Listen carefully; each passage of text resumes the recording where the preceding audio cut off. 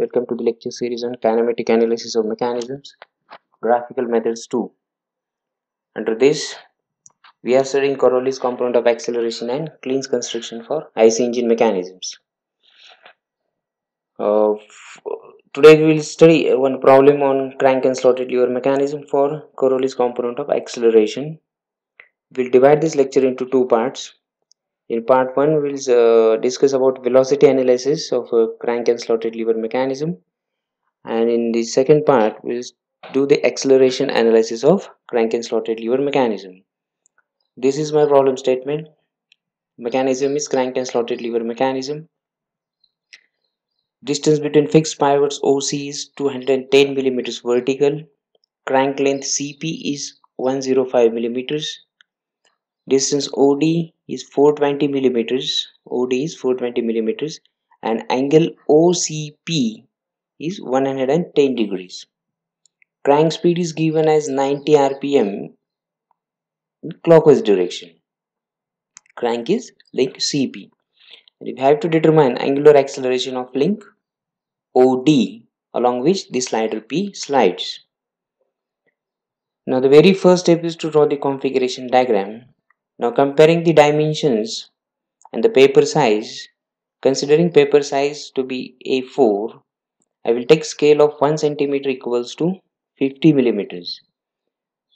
So I have tabulated all the dimensions of the links to the scale length. So actual length of OC is 210 and when scale to the scale of 1 centimeter equals to 50 mm it becomes 4.2 centimeters. Length of CP is 105 millimeters after scaling, it is 2.1 centimeters. Link OD is 420 mm. So after scaling, link it will become 8.4 mm. The first step, draw a vertical line OC of 4.2 centimeters. Then, with angle OCP equals to 110 degrees, Draw link CP of 2.1 centimeters like this. Then join points OP and extend it till point D such that length OD is 8.4 centimeters. So this completes the acceleration diagram. Now since here the slider P is sliding on this link OD as well as it is rotating with the link OD, what we do in such cases is that we assume point Q on the rotating link OD which lies exactly below point P on the slider. Now for velocity polygon, let us consider one link at a time. We'll start from fixed link OC. Now for fixed link OC, let us suppose that C rotates about O. And when C rotates about O its linear tangential velocity VCO will be equals to radius of rotation OC into its angular velocity. But link OC is fixed link so its angular velocity will be 0 so VCO is 0 in magnitude.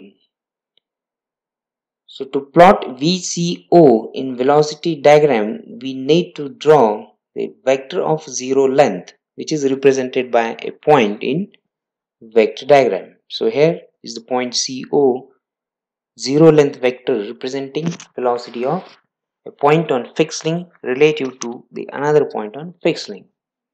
Next we'll consider link CP.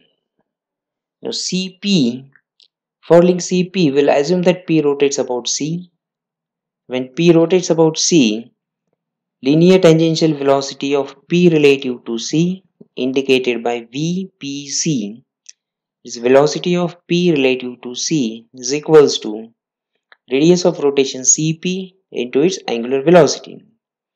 Radius of rotation cp is equals to 0.105 into angular velocity of crank cp is 9.424 radian per second which gives the magnitude of VPC as 0.989 meter per second. Now, we will plot vector representing VPC that is vector CP in vector polygon whose length will be equals to 0.989 meter per second. We will scale this. So let us take a scale of 1 centimeter equals to 0.2 meter per second for velocity diagram. So VPC will be represented by vector CP whose length now becomes 0.989 divided by the scale 0.2 meter per second. So length of vector CP will become 4.9 centimeters in velocity polygon. So now to represent VPC, we will draw vector CP of length 4.9 centimeters in velocity polygon. Now this is the length of the vector CP and we know that its direction will be perpendicular to radius of rotation CP like this. We also know that the vector will pass through points C and P. Out of these two points, we have point C with us, which is the start point of this vector. So we will draw a line perpendicular to link CP passing through point O in uh, passing through point C in this direction and having length of 4.9 centimeters to represent to represent VPC velocity of P relative to C. We have placed the tail of the vector at point C because VPC is represented by vector CP. C is the tail of the vector and P should be the head of the vector. So this is the vector in the given direction that is perpendicular to radius of rotation PC which represents VPC velocity of P relative to C represented by vector CP. The next the link PQ. For link PQ, P slides relative to Q. So its sliding velocity is indicated by VSPQ, sliding velocity of P relative to Q, whose magnitude is unknown. But we know the direction of this sliding velocity of P relative to Q. It will be parallel to the line of stroke of slider P. That will VSPQ will act along the length of this link or parallel to the length of this link on which slider P is sliding. So now we have to plot the vector representing VSPQ in velocity polygon. For this the length of vector is unknown so we'll plot the vector of arbitrary length because we don't know the magnitude of the vector. So we'll plot the vector of arbitrary length. We know the direction direction is parallel to the line of stroke it is parallel to the link on which the slider is sliding also we know that this vector must pass through points p and q out of these two points we have point p with us in velocity polygon so we will draw this line parallel to the line of stroke of slider passing through point q and having arbitrary length to represent sliding velocity of p relative to q so I have drawn a vector of arbitrary length because we don't know the magnitude of VSPQ. I have drawn the line in the direction of VSPQ. It is parallel to the line of stroke of the slider that is parallel to the length of the link on which the slider is sliding. And I have drawn the vector through point P because VSPQ, the vector representing VSPQ will pass through point P and Q and we know point P so we have passed this vector through point P the next is the link OQ so for link OQ let us suppose that Q rotates about O so when Q rotates about O its linear tangential velocity VQO velocity of Q relative to O is equals to radius of rotation OQ into its angular velocity which is unknown so again the magnitude of VQ is unknown so we have to draw a vector of arbitrary length to represent VQO in velocity polygon. But we know its direction. Direction of VQO is perpendicular to radius of rotation OQ. Also we know that the vector VQO will pass through point O and Q. Out of these two points we have point O with us in the vector polygon. So we will draw a line representing VQO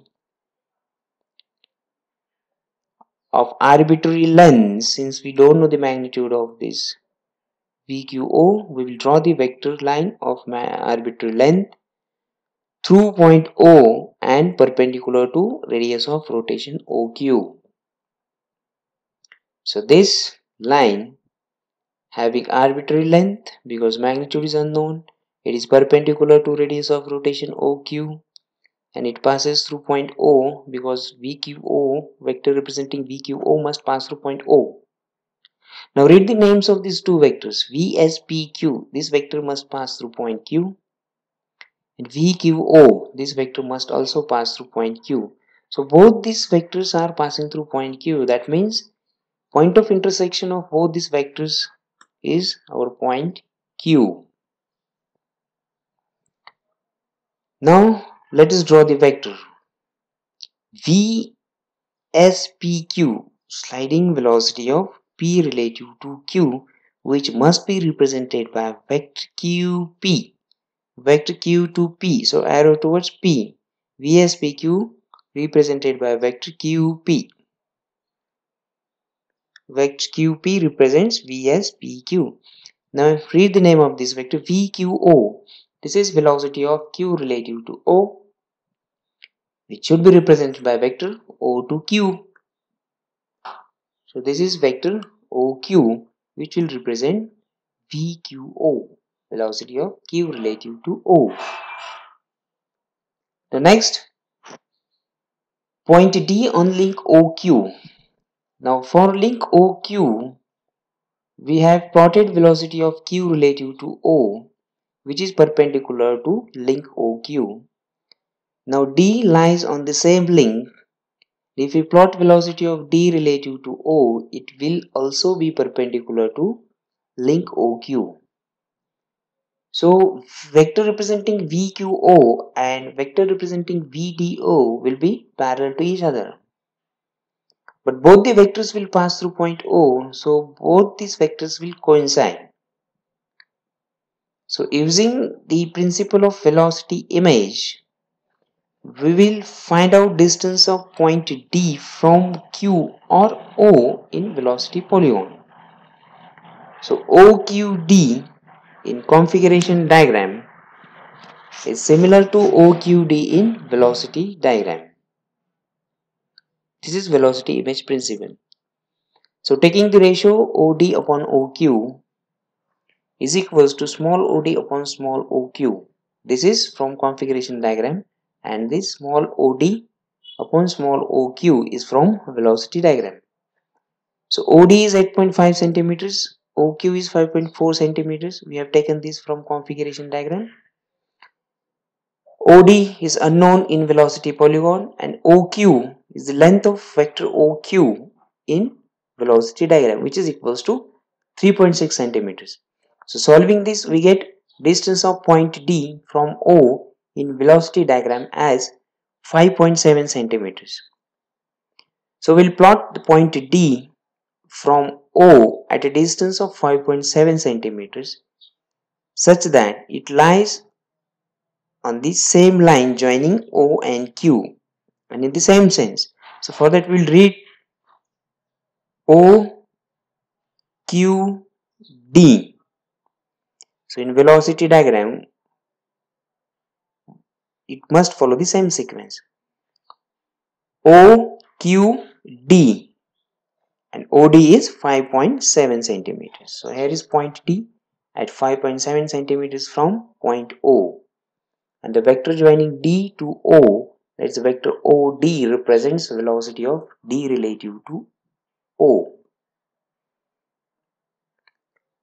Now this completes the velocity polygon. Now from this we'll find out angular velocity of link OD. We'll make use of equation number 3 for which we have determined linear velocity of q relative to o which is equals to radius of rotation oq into its angular velocity. So from this equation omega qo angular velocity of q relative to o is equals to vqo divided by radius of rotation oq now vqo value of magnitude of vqo is equals to length of vector oq in velocity diagram into the scale factor with which we have drawn the velocity diagram divided by the radius of rotation OQ. So we'll measure the length of vector OQ and multiply it by scale factor. So length of vector OQ, this length is equals to 3.6 centimeters into the scale factor of 0.2 meter per second divided by length OQ is 0.27 centimeters uh, meters is equals to so this calculating this we get omega qo equals to 2.66 radian per second in magnitude. So angular velocity of q when it rotates about o is 2.66 radian per second. That is the angular velocity of link OD. So this is the magnitude of angular velocity of link OD. Now what about its direction? We'll find out direction of omega qo from the direction of vector vqo. So vector vqo is pointing towards right so q relative to O, while the q rotates about O in circular path, the direction of linear velocity of q relative to O is towards right. That means q relative to O is rotating in clockwise direction. So angular velocity of link OD is clockwise. Thank you.